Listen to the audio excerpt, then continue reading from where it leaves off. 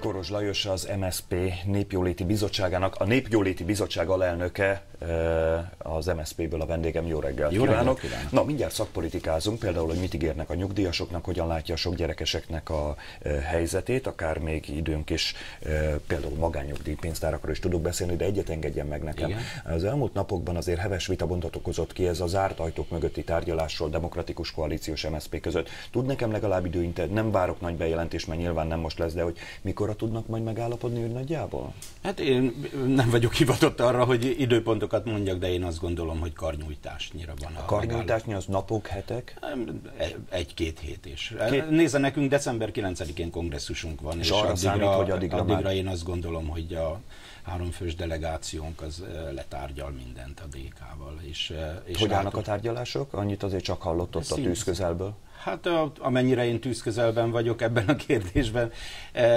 szinte két naponta, három naponta tárgyalnak, néhány apró momentum van, úgy tudom, amiben meg kell állapodni. Tehát lesz De megállapodás. Az, lesz, biztos, hogy Lesz megállapodás, és ön úgy számolja, hogy valószínűleg ilyen két héten belül már Így van. többet tudunk. No, a, lényegesen javultak a gyermekes családok életkörülményei az elmúlt években, jelentette ki az Emberi Erőforrások minisztere kedden. A másfélszer annyit ér egy átlagos kétszülős gyermekes család nettók átlagkeresete, mint 2010-ben. Ezt mondta ugye Balogh Zoltán, és a 2010 előtti időszakban ugye önök kormányoztak, tehát ez azt jelenti, hogy most minden rendben van, vagy legalábbis sokkal jobban állnak. Hát úgy gondolom, hogy a 10 millió emberből körülbelül 7 millió, 7,5 millió nem így gondolja.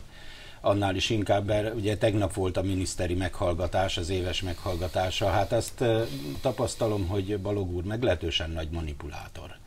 Tehát azért egy tehetséges eh, ember, és mindig azt vettem észre, bármelyik fejezethez nyúlt a beszámolójában, kedvező tendenciákat esetleg kidomborított, másokat elhallgatott, Nem amelyek mondja azt, hogy politikusok nem ezt csinálják mindenhol. Kedvező dolgokat kiemelnek, és a kevésbé kedvezőekről meg nem beszélnek olyan sokat. Ez egy politikusi sajátosság. Biztosan így van, akkor egy kicsit, kicsit hagy maradjunk a szakmánál. Ugye, hogyha a statisztikában, mondjuk a statisztikai adatoknál nem vesznek figyelembe olyan momentumokat, amelyeket be kéne, hogy emeljenek egy statisztikába, és azáltal manipulálják a statisztikát, hogy nem tévesen számolják ki, hanem bizonyos sokaságot mondjuk nem vesznek figyelembe. Ilyen a munkanélküliségnek a dolga. Ilyen a jövedelmeknek a dolga. Anélkül, hogy meghamisítanák ezeket az adatokat, a módszertamba elrendezik ennek a sorsát. Mik azok az adatok például, amik nem szerepelnek ebben a felmérésben, és szívesen látta volna benne az objektivitás miatt? Nézze, eh, hogyha, hogyha eh, mondjuk egy eh, aktív álláskeresőt arra való hivatkozással, hogy ez az ember éveken keresztül bejár a munkaügyi központba, mert ugye kapcsolatot kell tartani a szervezettel, és látja hónapról hónapra, hogy esélytelen az, hogy ő valamikor is állást találjon, akkor azt mondják, hogy nem működik együtt a, a szervezettel, akkor kiveszik ebből a statisztikai e, e, rendszerből, mindjárt kevesebb az az ember, akit figyelembe kell venni, és annélkül, hogy több munkahely lenne, annélkül, hogy több munkahely lenne, vagy többen dolgoznának mondjuk 8 órában, mindjárt javulnak a foglalkoztatási adatok, mert bizonyos személyeket nem vesznek figyelembe a, a statisztika összeállításánál. Hogyha megnézzük, akkor a magyaroknak ö, 62%-a elégedett azzal, hogy Magyarországon él. Ezt ön egy magas számnak tartja, alacsony számnak tartja? Hogyan értik? Meglehetősen alacsony. Meglehetősen alacsony.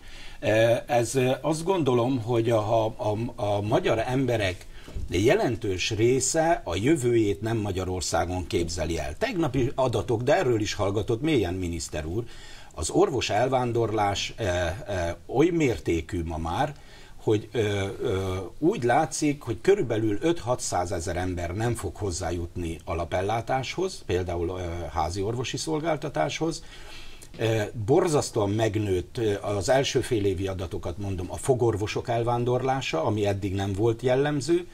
Ugyanannyian fognak távozni, mint a múlt évben. Minden áldott nap két orvos elhagyja az országot, mondom, minden áldott nap két orvos és három szakdolgozó. Úgyhogy körülbelül 840-850 ember távozik, az országból Romániától Angliáig. Nekem azért zavar, azért érdekes, amit mond, mert a másik oldalról, meg a túloldalról azt halljuk, hogy az egészségügy elindult a csúcs közelébe. Ugye azt mondta egészen pontosan Balogh Zoltán miniszter, hogy az egészségügyben a rendszerváltás óta nem volt ilyen kiterjedés és mértékű béremelés, illetve hogy a csúcs felé tartunk. Hát meg kéne kérdezni a szakdolgozókat és a, az orvosokat.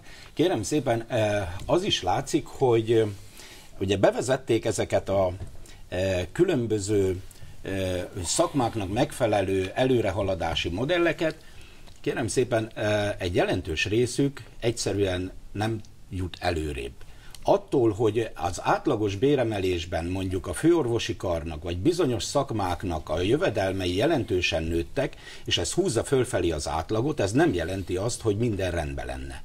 A ma a GK-nak megjelent egy elemzése, amely a következőt mondja, hogy 2004 és 2016 között 12 évről beszélünk, körülbelül 35-36 százalékkal nőtt a, a nemzetgazdaságban, az iparban dolgozókok a jövedelme, és a közférában, az orvosok például ide tartoznak, vagy a szociális ellátórendszer 90 százaléka ide tartozik, kérem szépen 5,5 százalékkal nőtt. Ez tudja mennyit jelent? Évi fél százalék. Tehát gyakorlatilag semmi. Ma ebben a rendszerben az államigazgatást is belevéve több tízezer ember hiányzik ezek az emberek nincsenek jelen. A szociális ágazatban és az egészségügyben azért zárnak be szolgáltatásokat, mert nincs szakember. Azért zárnak be kórházi osztályokat, és azért mondanak fel települési önkormányzatok szociális szolgáltatásokat, mert nem találnak arra feladatra szakembert. De akkor például a miniszter minek alapján mondja azt, hogy megyünk a csúcs felé, és hogy ilyen béremelés még, ilyen kiterjedő bére, mértékű béremelés még El nem volt. tudom képzelni. Hát ő elégedett ezzel a munkával, meg kell kérdezni az egészségügyben dolgozókat, vagy a szakszervezeteket, hogy nekik mi a véleményük. Azt hiszem pont a fordító. A harmadik kardinális kérdés, amivel önök is nagyon sokat foglalkoztak, a nyugdíjasok helyzete. Hmm. Hogyan látja a nyugdíjasok helyzetét például az MSZP, illetve a kormányváltás után, ha az esetleges kormányváltás után, ha és amennyiben önök kerülnek kormányra, Nézze, akkor mit terveznének? Annak idején az Orbánék azt vállalták, hogy megőrzik a, a nyugdíjak reálértékét. A reálérték őrzésben ezt kipipálhatjuk, mert az átlagos számok reál pozíció javulást mutatnak. De ez nem azt jelenti, hogy elégedetnek kéne lenni, mert közben úgy alakították át a nyugdíjrendszert, hogy például több százezer embert kiraktak a nyugdíjrendszerből. Egy, kettő. A másik, hogy az infláció alacsony volt miatt a statisztikák ugyan, ugyan azt mutatják, hogy itt magasabb, tehát van egy reálpozíció javulás a nyugdíjasoknál, de ennek a mértéke egyébként közel sem akkora, mint amit ő mond. Egy, kettő, amik leszorítják az inflációt, azokból a termékekből vagy termékcsoportokból a nyugdíjasok nem vásárolnak, vagy nagyon keveset vásárolnak.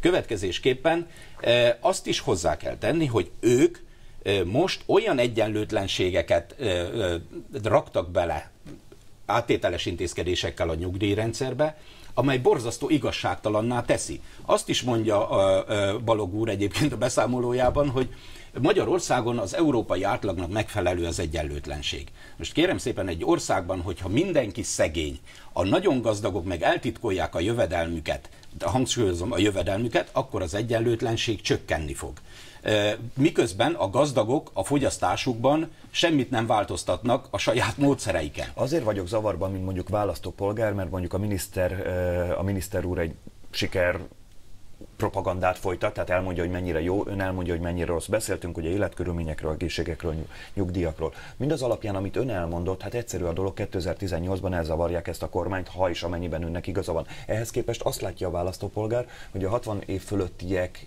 között 50%-kal megemelkedett a Fidesznek a támogatottsága hogy oda vándoroltak a nyugdíjasok. E, ez, ez szerintem átmeneti, egyébként ennyien nem de, mentek. Oké, okay, rendben, de ha átmeneti, most akkor átmenetileg, miért e, vándoroltak oda a nyugdíjas szavazók? Nagyon sok e, idős embert a 10 ezer forintos Erzsébet utalványjal meg lehet téveszteni, vagy egy nyugdíjprémiummal. Kérem azt szépen, mondja, hogy megvásárolják között, a nyugdíjas, nyugdíjas szavazatokat? A, a nyugdíjas szavazók jelentős részét megvásárolják, de január közepén ebből a pénzből nem lesz semmi. Január végén, január második felében jön a, a, a felébredés, hogy sokkal, de sokkal többet érne mondjuk egy méltányossági nyugdíjemelés, mint egy 10 ezer forintos utalvány. Sokkal többet jelentene egy kis nyugdíjasnak, hogyha ingyen kaphatná a gyógyszert a krónikus betegségére, mint hogy kap egy évben 10 ezer forintos e, e, Erzsébet Csak utalvány. egyre válaszoljon legyen kedves a legvégén, hogyha önök kerülnek kormányra, akkor például ez a rendszer, az utalvány vagy a 3%-os szokásos nyugdíjemelést, azt akkor eltörlik önök? Hát feltétlen. Hát kérem szépen, ennek az Erzsébet utalványnak egyetlen egy célja van, hogy akik kibocsátják és forgalmazzák, jó sokat keressenek rajta. Nagyon szépen köszönöm, hogy nálunk kezdtem a reggeljét. Én is köszönöm.